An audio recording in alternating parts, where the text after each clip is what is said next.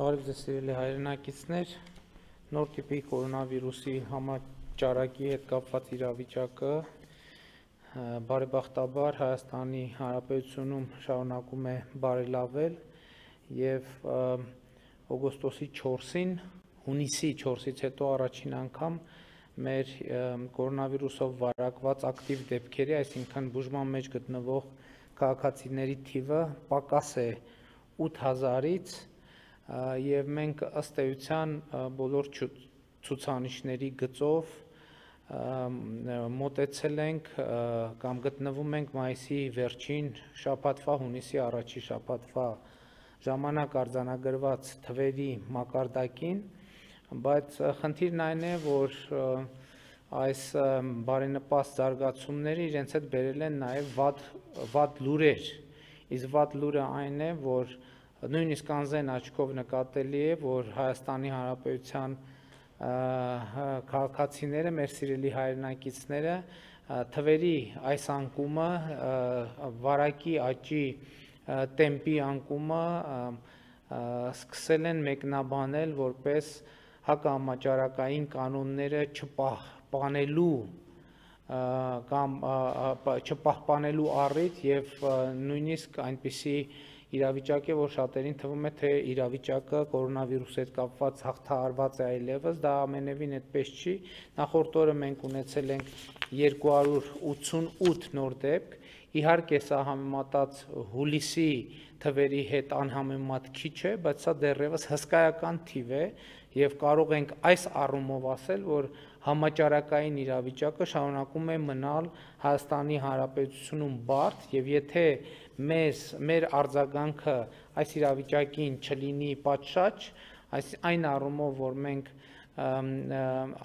առավել առավել մեծ ջանքեր գործադրենք հակահամաճարակային կանոնները պահպանելու ուղղությամբ, մենք կարող ենք նորից իրավիճակը յետ գլորել դեպի հուլիսի առաջին շաբաթվա իրավիճակը, որը ինչպես հայտնի է,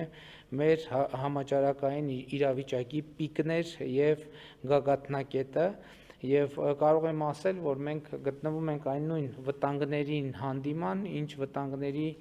առաջ գտնվում էինք մայիսի կեսերին, երբ որ մենք ակնկալում էինք, որ համաճարակի դեմ ապակենտրոն պայքար կսկսվի, բայց ցավոք այս այդ պայքարը այնքան էլ արդյունավետ չստացվեց, Ես ուզում եմ արձանագրել, որ համաճարակայի դեմ պայքարը կառավարության եւ հանրության համագործակցության պարագայում կարող է լինել առավելագույնս արդյունավետ, այս պարագայում կառավարությունը պիտի շատ հստակ ձևակերպի ուղերձները, թե ինչ է պետք անել համաճարակի տարածումը կանխելու համար եւ քաղաքացիները պետք է արձագանքեն կառավարության այդ կոչերին եւ ըստ այդմ մեր խնդիրը շարունակում է մնալ նույնը եւ հիմա այս լավատեսության ֆոնին շատ ավելի խստորեն պետքա դնենք մենք խնդիրը պահպանել հակահամաճարակային կանոնները եւ որևէ կասկած չկա, որ մեր հակահամաճարակային կանոնների մեջ անկյունակարային նշանակություն ունի դիմակի պարտադիր կրումը բաց եւ փակ տարածքներում եւ մենք պետք է խստորեն հետևենք այս կանոնների պահպանմանը իհարկե բացի կոչերից հորդորներից նաեւ վարչական մեթոդներ են կիրառվելու եւ ոստիկանությունը շարունակելու է հետևել որ เป զի քաղաքացիները պատշաճ ձևով պահպանեն այս կանոնները, որովհետև սիրելի հայրենակիցներ, իրապես մենք ստացել ենք շանս։ Մենք ստացել ենք հնարավորություն հաղթահարելու այս վիճակը եւ այս վիճակի հաղթահարումը կախված է մեզնից յուրաքանչյուրից, ձեզնից յուրաքանչյուրից եւ ես հույս ունեմ, որ մենք նախանձակ խնդիր կգտնվենք այս իրավիճակում եւ կկարողանանք կկարողանանք մեզ բոլորիս մեզ բոլորիս իրար աջակցել, որպեսզի այս իրավիճակը օրը առաջ, րոպե առաջ հաղթահարվի։ Այժմ ես ուզում եմ խոսքը փոխանցել առողջապահության նախարար Արսեն Թորոսյան